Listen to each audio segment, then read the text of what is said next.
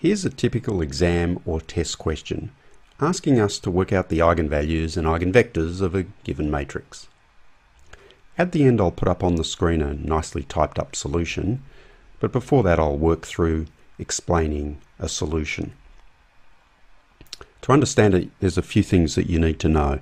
The determinant of a matrix, you should be familiar with this idea of Gaussian elimination, and finally you need to know how to multiply a vector by a matrix, like I've got here. And you can see in this example that I've multiplied the vector 1, 1 by the given matrix, and we end up with a matrix uh, vector that is a different length and importantly a different direction to the vector that we started with, 1, 1. So what we're looking for in the case of eigenvalues and eigenvectors is some very special vectors uh, that don't change direction when we multiply by the matrix. All that can change is the length. So here's the setup. We've got the matrix that we were given in the question. We're going to call the vector uh, the eigenvector here AB and the only requirement is that A and A and B are not both equal to zero. So we're not talking about a zero vector. And the effect of that multiplication is that we end up with a vector which is lambda A, lambda B. Um, we normally use the Greek letter lambda, which is a bit unfortunate using, given the animation software that I'm using, but nevertheless, um, we end up with this equation and that's what we need to solve. So the starting point is that we can subtract uh, lambda times AB from both sides and on the right hand side we'll end up with the vector 0, 0. What we can now do is before the you know, between the lambda and the vector AB, we can put a, a matrix 1001, the so-called identity matrix. And the identity matrix has no effect when we uh, multiply a vector by it, so I'm perfectly entitled to put that in there. And once I do that, I can sort of, if you like, take out the common factor of the vector AB.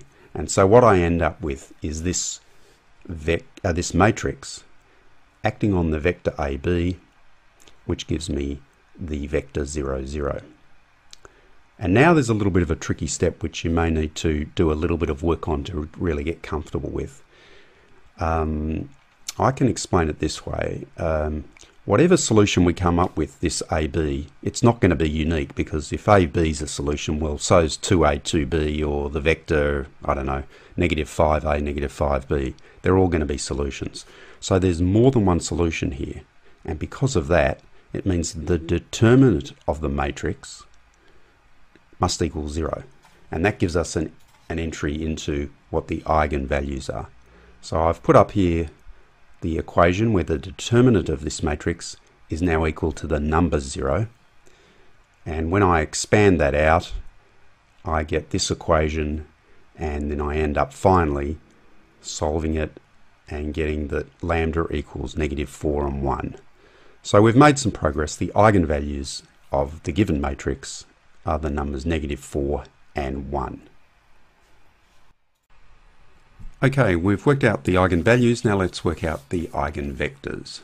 To do that, let's go back to some calculations I had up before. I'm only going to need the last line. And let's find the eigenvector corresponding to an eigenvalue of negative 4.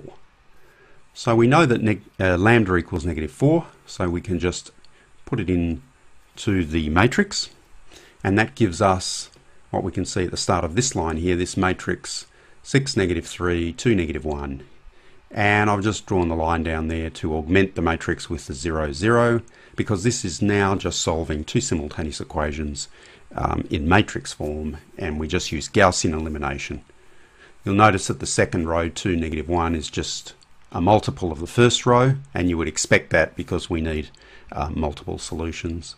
And if you go through all the Gaussian elimination, I'll leave that you, for you to do that, then we end up with that the vector AB is equal to some multiple, or any multiple, of the vector 1, 2, which I've got there.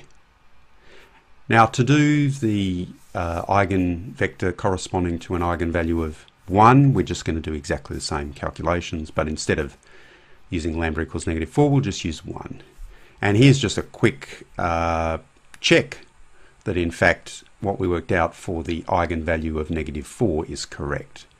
You can see here that where I've just picked a random multiple of the vector 1, 2, and when I apply the matrix to it, you would expect that, um, that I'll get some multiple of the vector that I chose, and that's what we get. Finally, here's a, a, quite a short solution that I've typed up to this problem just to give you an idea of what you could write in an exam. You could argue that maybe you should put an extra line for the Gaussian elimination, but it sort of depends on your examiner and lecturer. That's it for eigenvalues and eigenvectors made easy.